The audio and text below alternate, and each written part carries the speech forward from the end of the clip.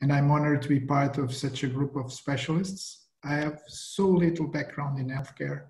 My, my background is, is in technology and in particular data privacy, GDPR, as a lot of people mentioned. And uh, I'm here with the perspective of the users of the NHS. So the NHS users uh, need to have more clarity on how to navigate and we all need uh, to have better answers from from the systems so uh, oh we have the, the, presentation so uh, the, so the conference aims to, to stress how critical data is to improve and, uh, and to improve the results in health. From, from the streams, the, the four streams uh, created, we can find some common background. So, and the, um, common, uh, the, the common ground, sorry. And the, the, the, customer data is some, some of that, that. From the previous uh, speakers, uh, we, we, we, we heard about that so much. So the more, uh, the more and better data, the more uh, and, uh, improvement on the results we get. So our stream, our stream stream focus in having data to direct the attention to each patient as unique. Um, so then the next slide, please. Can you imagine uh, a bank uh, uh, without uh, the customer at the center, the customer at the heart? It's impossible to think these days that that could could be happen. a bank would not survive. And if you look at the, at the, media industry or the telecom industry or any other industry besides this one, uh, the, the, the, health uh, care industry, uh, not knowing their customers, not knowing who is watching the, the, the videos, who is using their mobile phones, or whatever, the, the, the, who is buying their products and how they are using their products. It's impossible to think about that. Think about the government. Let's go to the government. And if you if we go to the government, can you imagine a government not having a consolidation of the taxpayer in a single view? Those countries that still do not have that have, face really, really uh, uh, good, uh, strong problems. So we need to have in, in, in Europe, at least we have that. So now, does it happen in healthcare systems? Um, and if we talk about private groups, probably, most probably yes. We, we find uh, that they, they already focus in a patient as the, the, the client and centralize it. But the national public health care, unfortunately not. And I'm not uh, really talking about any country in particular. I'm not talking about Portugal or any other country. I'm talking in general. We all would like uh, to have it, but we don't. We struggle to get there. So consolidation and integration of, of the information is very hard to do because we still have legacy systems and we struggle to remove them or to use them. Some countries are now, and um, um, Astrid mentioned it, are now federating data, uh, data sets and using artificial intelligence and HS, HL7 standard uh, and others uh, to, and, and the metadata to, to support it. Can you imagine uh, legacy systems and metadata working together? I'm, I'm really uh, um, worried about that. Are you sure that mixing AI with, with, with legacy, please, uh, can you, can you, can you move now? Meeting legacy with AI mixing together, mixed together is really, really uh, um, uh, confusing. So the questions we are raising here uh, in Portugal is, do we have the customer at the center in healthcare? Should we continue to maintain these legacies? Should we federate AI in HL7 uh, and, and the legacy systems? Why not starting from restructuring the, the, the, the infrastructure, the, the, the, the basis, center the data in the, in the, in the, in the, the patient and treat the patient as a customer, not as a patient, but as a citizen and as a customer. Please, uh, next slide, please. So we came up with this, um, The, and and when I, when it says Portuguese society, it means a very large group of uh, um, societies, uh, patient societies, and health societies in in, uh, in, in, Portugal. Uh, we're talking about a lot of people, um, not more than more than 100.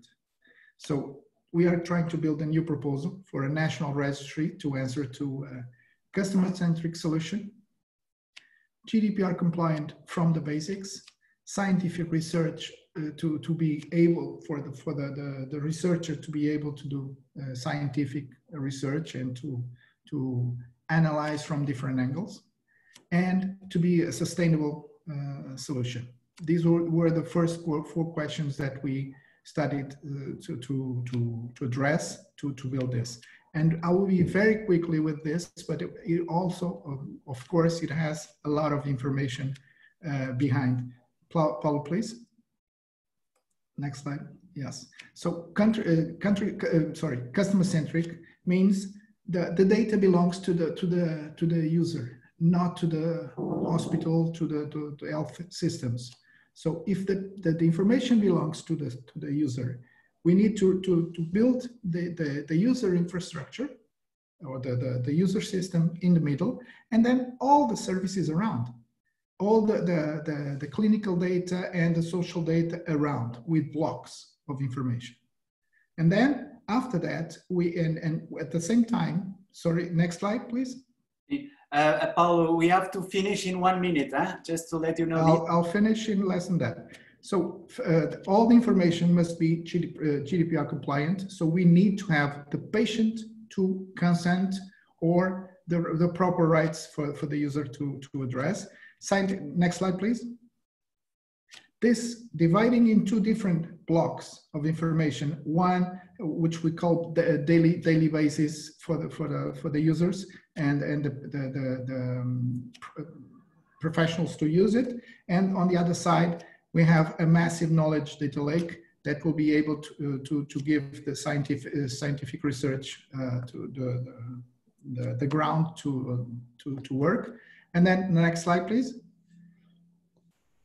And of course, we need to, to look at the sustainability. For one side, the per transaction for the daily basis, and the other one for contract-based uh, when we, we, we, we, are talking about the, the, the scientific. Next slide, please, and thank you all. So we, to have the tailored therapies and patient adherence, we need good data. To have uh, good data, we need to rebuild, not mixing and adding complexity. With good data, we will have the grounds to add real world data and real world evidence, like Lars was, uh, was, was, was saying, at, and add the best technology, including AI and HL7 and, and so on, and anonymize and safely research. Next slide. Thank you. Okay, I, I think Federico, you have also something to present uh, in the in the stream, or can, are you ready to go to the breakout to host the discussions? I think we can go to the breakout. I think I would like to give time for uh, for people to to discuss if we have time. Uh, I mean, I, my own presentation actually uh, linked links with a lot of these topics, so uh, we can try to do it more informally during the during the breakout. You can you can remove my my uh, I also I also would like to thank you so much for this uh, interesting panel, and and um, let uh, just remind you that if you agree, all these presentations will be in the in the virtual space of the Health Data Forum, so that people would be available. We also plan to do a little bit of follow up, uh, short video interviews with all of you, and have this uh, important content that was shared here today to not be forgotten and to be uh, constantly reminded until the live presential summit that we want to host uh, next uh, September. Uh, so I think uh, we are now going to do a split on the breakouts as we, you will be kindly invited, all of you, to go onto the breakout for the Q&A that Federico, I ask you be so kind to moderate. So we are already sacrificing the break, the, um, the bio break that we are supposed to have in order to complete the schedule at 11.30 and starting the Innovation Village with uh, Dr. Rui Ivo from the Infarmed is going to uh, do a keynote on 11.30. Uh, in the Portuguese time, uh, 12, uh, um, sorry, 10.30 Portuguese time, 11.30 uh, CEST. Um, so I think uh, that uh, without uh, Frederico, you can still round up any comments and final conclusions while we wait for the participants of the breakout to joining us. Federico? Sure, sure, absolutely. So I'm, I was very happy to uh, hear the three presentations. I, like I said, um, I, my own presentation, we can just skip it, but I can, I can, I will uh, try to tie it back with some of the things that were said today. So basically, my, but the point I wanted to make today is that as a proponent of value-based healthcare, uh, I think uh, healthcare systems and the stakeholders in general are trying to achieve a couple of things uh, to improve the quality of care. And we heard uh, Astrid's presentation on how we can actually use more targeted approaches to actually maximize the benefits and minimize the side effects of, of treatment of patients through precision medicine, uh, more efficient and sustainable care. Um, we, we also heard that can, uh, the technology that Lars was alluding to also allow, allow us to some extent to, to achieve that uh, level of efficiency. And I think more related to what um, Paulo was saying before, really also try to drive the research into the areas aligned with the patients of the, uh, of the, the, the interest of the patient. So I, I think it's, it's sort of paternalistic from from the side of, of certain stakeholders to think that they know what the patient wants. Sometimes we don't ask the patient what they want. We don't then have a good indication of actually how where we should actually do do the, our investments for research for the sake of the patient. And so, if these are things that we want to do and want to achieve, then I believe that uh, the, the, data flow is actually uh, an important enabler to, to achieve that. And the problem is right now, um, there's a lot of hurdles from a technical standpoint that need to be overcome. And, and, and the summarizing comment that I would like to make is I think that COVID is actually going to turn our world uh, upside down and actually be a driver for digital innovation and progress on this fronts.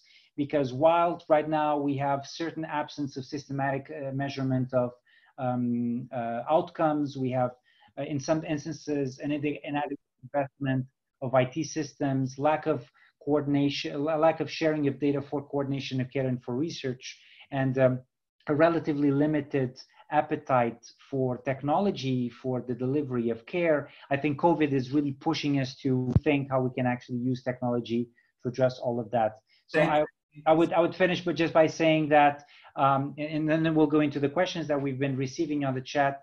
Just by saying that, I truly believe that the you know there's a silver lining to what we're happening with with the COVID-19 situation.